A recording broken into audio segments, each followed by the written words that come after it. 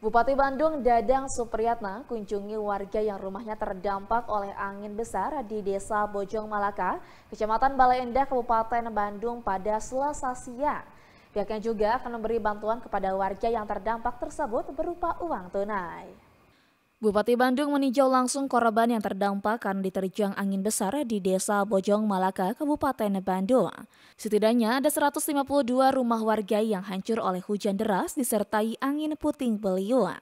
Dengan terjadinya bencana tersebut, pemerintah Kabupaten Bandung sendiri akan memberikan bantuan uang tunai kepada warga yang terdampak. Selain itu, Bupati Bandung yang akrab disapa Kang DS ini menegaskan pihaknya telah melakukan asesmen bisa dikategorikan berat, sedang maupun ringan. Sahabat Baleno dan Pak Kades Malaka beserta semua Prokopimda Pak Kadis Perkintan berkunjung ke Desa Bojong Malaka. Perumahan apa nih? Ujung Malaka Indah. Ujung Malaka Indah hari kemarin terjadi puting beliung sehingga bisa mengantam 152 rumah dan hari ini sudah dilakukan asesmen nanti dari Kalak BPD nanti bisa kategori berat, sedang dan ringan. Setelah itu baru kita uh, akan mendorong uh, bantuan kepada uh, masyarakat yang tentunya untuk bisa membantu ya memperbaiki kembali rumah-rumah yang kena musibah beliung.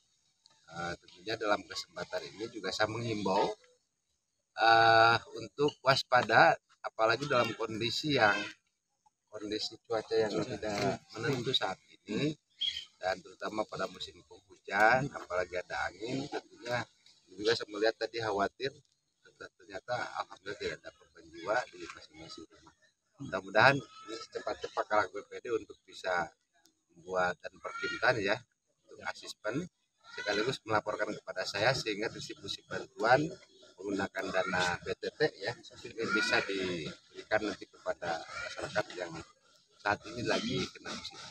Berupa uang ya diinginkan langsung di TNT ya untuk ya, yang biasanya kita TNT transfer non tunai nah, sehingga nanti eh, berdasarkan asesmen memang ada SSH-nya nanti angka dan nilainya berdasarkan uh, asesmen yang dan verifikasi yang dilakukan oleh Pertimtan dan juga Kalak BPD. Pas selain di Bojong di Balenda di mana lagi? Di Bojong Malaka. yang bencana saat ini uh, di Andir Raja Manyar sama tentu uh, lagi dalam proses uh, asesmen ya dan tentunya Pak Kalak secara serentak untuk bisa mengusulkan kepada saya untuk segera membuat suatu Pihaknya juga mengimbau kepada masyarakat agar tetap waspada mengingat curah hujan yang tinggi masih terus terjadi di seputaran Bandung Raya.